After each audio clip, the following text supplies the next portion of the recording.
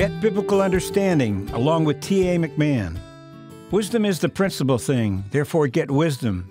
And with all thy getting, get understanding. Proverbs chapter 4, verse 7. This is number 32 in our series of Get Biblical Understanding. In this session, we're reading many, but certainly not all of the biblical verses that have to do with blessing.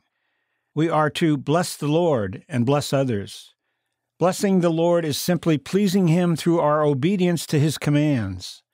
Blessing others is also related to obeying Him and submitting to His instructions regarding how we are to treat one another. Furthermore, then we beseech you, brethren, and exhort you by the Lord Jesus, that as ye have received of us how ye ought to walk and to please God, so ye would abound more and more. 1 Thessalonians chapter 4 verses 1 to 2. Again, the theme of this series is blessing.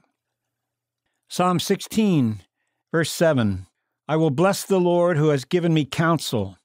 My heart also instructs me in the night seasons. Psalm 34, verse 1 I will bless the Lord at all times. His praise shall continually be in my mouth. Psalm 96, verse 2 Sing unto the Lord, bless his name, show forth his salvation from day to day. Psalm 103, verse 1 Bless the Lord, O my soul, and all that is within me. Bless his holy name.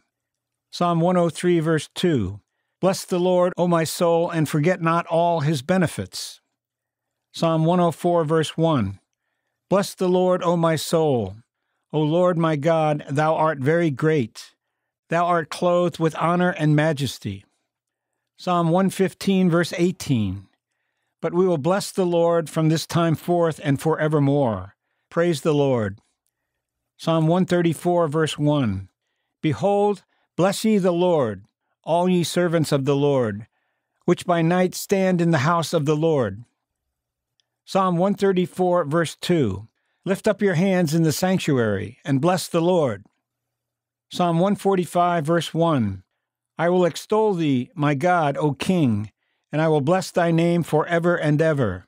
Psalm 145, verse 2 Every day will I bless thee, and I will praise thy name forever and ever. Psalm 145, verse 10 All thy works shall praise thee, O Lord, and thy saints shall bless thee. Psalm 145, verse 21 My mouth shall speak the praise of the Lord, and let all flesh bless his holy name forever and ever.